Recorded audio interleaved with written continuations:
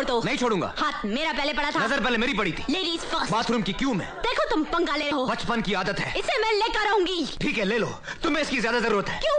क्योंकि तुम्हारे मुँह से बदबू आती What? Yes your mouth stinks